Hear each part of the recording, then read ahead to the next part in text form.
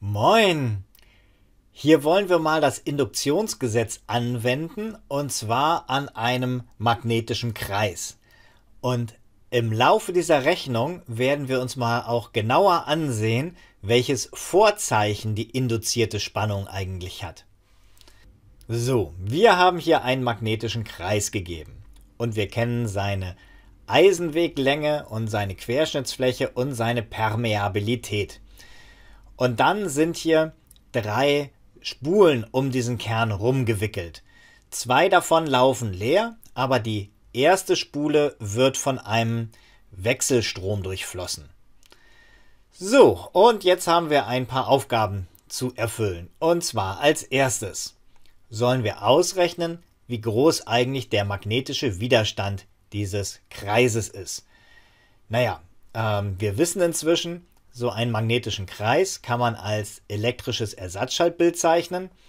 Da haben wir eine Durchflutungsquelle von unserem stromdurchflossenen Draht und eben in diesem Fall einen magnetischen Widerstand von dem Eisenkern. Und diesen magnetischen Widerstand können wir mit der uns bekannten Formel berechnen. Das ist einfach die Länge des Eisenweges geteilt durch die Permeabilität und die Querschnittsfläche. Als nächstes sollen wir ausrechnen, wie groß denn der magnetische Fluss im Eisenkern ist. So, dafür äh, müssen wir uns kurz überlegen, wie rum fließt denn dieser Fluss? Und dafür benutzen wir unsere rechte Handregel. Ihr erinnert euch, der Daumen zeigt in Richtung äh, des Stroms und äh, die Finger zeigen in Richtung des magnetischen Feldes, das um einen Leiter äh, entsteht. Und wenn wir uns das jetzt mal angucken, für den Strom, der da in diese Spule 1 reinfließt, da wird dann der Fluss offenbar nach oben weggehen.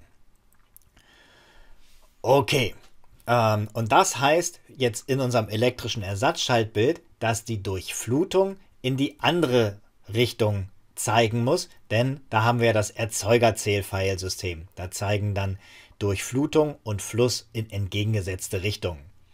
Okay, und mein Fluss geht hier also dann so im Uhrzeigersinn durch mein Ersatzschaltbild durch. Gut, das Ganze berechnen wir jetzt mit Hilfe des Ohmschen Gesetzes des magnetischen Kreises. Und das sieht so aus, da müssen wir jetzt die Durchflutung durch den magnetischen Widerstand teilen. Okay, magnetischen Widerstand kennen wir schon, dann nehmen wir also den Kehrwert davon und die Durchflutung ist N1 mal den Strom, der da durchfließt. So, jetzt sollen wir noch die induzierte Spannung in die zweite Spule berechnen. Und da nehmen wir uns jetzt mal ein bisschen Zeit für. Also grundsätzlich müssen wir das Induktionsgesetz anwenden.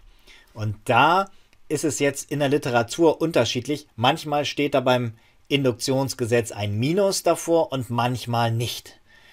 Und äh, ja, jetzt gucken wir uns einfach mal an, wie rum denn in diesem Fall das Vorzeichen sein muss. Und zwar haben wir doch jetzt einen magnetischen Fluss, ähm, der durch den Kern geht. Und weil der Strom, der diesen Fluss erzeugt, sinusförmig ist, ist der Fluss auch sinusförmig. Gut, das heißt, durch meine äh, Spule mit der Windungszahl N2 geht ein sinusförmiger Fluss durch. Der ist also zeitabhängig, darum wird eine Spannung induziert. Okay, wir haben schon mal eine Spannungsrichtung eingezeichnet. Und jetzt stellen wir uns mal vor, wir würden an diese Klemmen mal einen Widerstand anschließen. Okay, wenn die Spannung denn jetzt so rum äh, abfällt, wie äh, wir sie eingezeichnet haben, dann würde doch durch den Widerstand ein Strom fließen, der in diese Richtung gerichtet ist. Das ist das Verbraucherzählpfeilsystem. Und jetzt wenden wir mal wieder unsere rechte Handregel an und gucken mal, was dieser Strom denn eigentlich für einen Fluss im Kern erzeugt, wenn er so rum äh, fließt, wie hier eingezeichnet. Und da stellen wir fest, dieser Fluss würde in diese Richtung hier zeigen.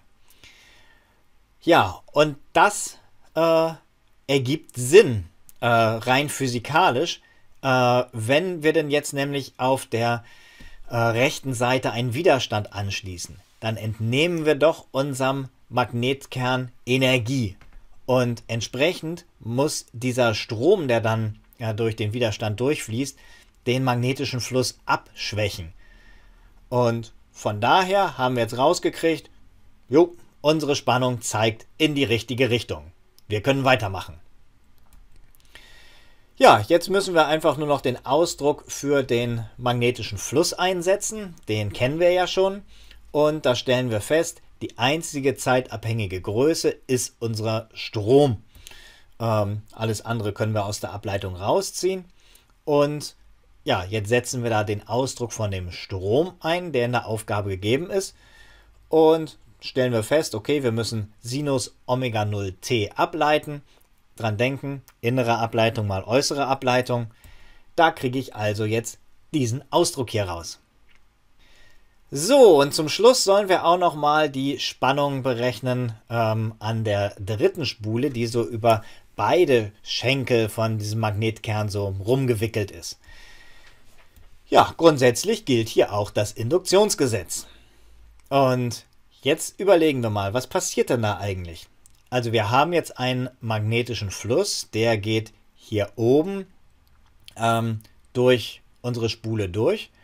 Aber auf der anderen Seite geht doch derselbe Fluss auch durch die Spule durch, aber in unterschiedliche Richtungen.